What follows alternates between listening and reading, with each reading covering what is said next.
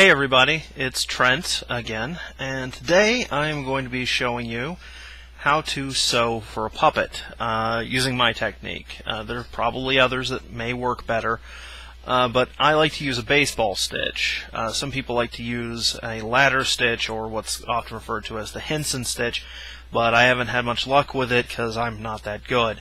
But uh, this works just as well, and uh, for at least certain types of projects. And so let's get started. Okay, let's, there we go. Alright, now what I've got here is I've got some fleece, uh, and this is anti-pill fleece.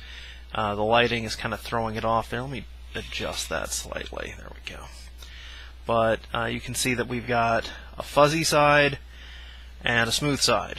And so what I do is I line my seam up, fuzzy side in, uh, so whatever side you want on the outside, we'll start with it inside. Uh, you can do this one same. Um, uh, you can do this one without doing it reversed. Uh, it's just easier if you do it this way. And then we take. Now, for the purposes of this process, I'm using a black thread, uh, so it'll stand out more against what we've got here. And let me see if I can get this camera a little bit closer here. Ooh. There, enjoy my keyboard.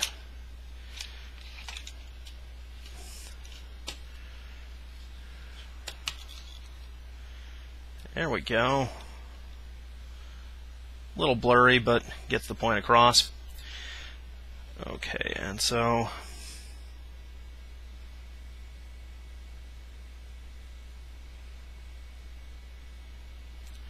thread your needle.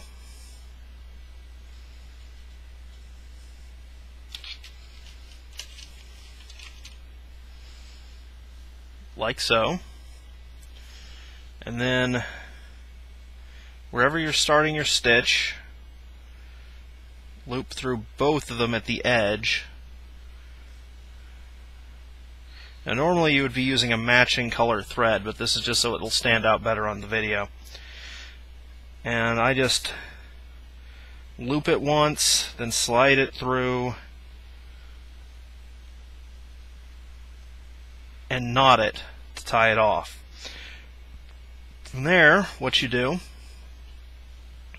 is you slide from inside surface to out, catching only one side of the actual fabric with each pass.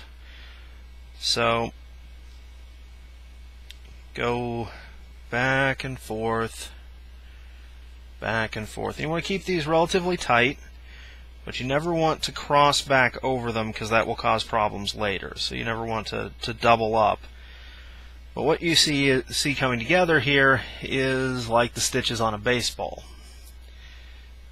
Now, the advantage of this will be readily apparent in a moment. Now, I'm just going to do a short length. Do about an inch, inch and a half in this fashion. It's a nice repeating pattern here. Okay, I lost the thread, but that'll do. And so here we've got, it doesn't do the close-ups that well, but you can see that uh, that process there. You can see how the, the thread loops. Then you lay it down flat. You take the loose side of the thread. On just we can't get a little bit better of an angle on that.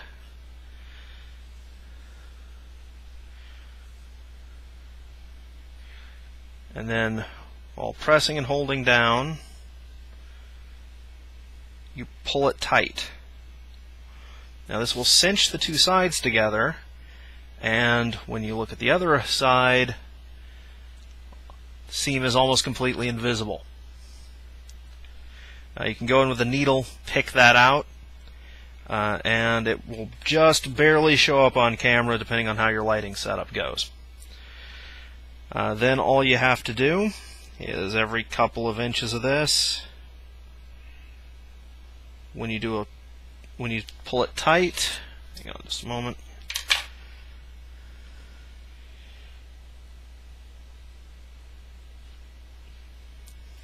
once again on the back side, just do a single whip stitch that goes through both sides.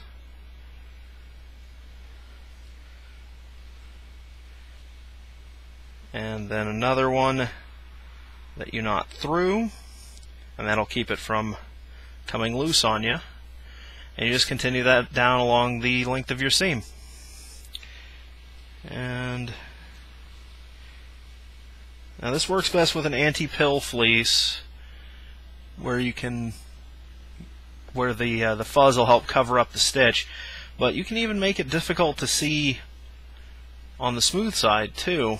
Uh, if this was the same color if this thread was the same color as this fleece you would just barely be able to notice that. And that's how I do it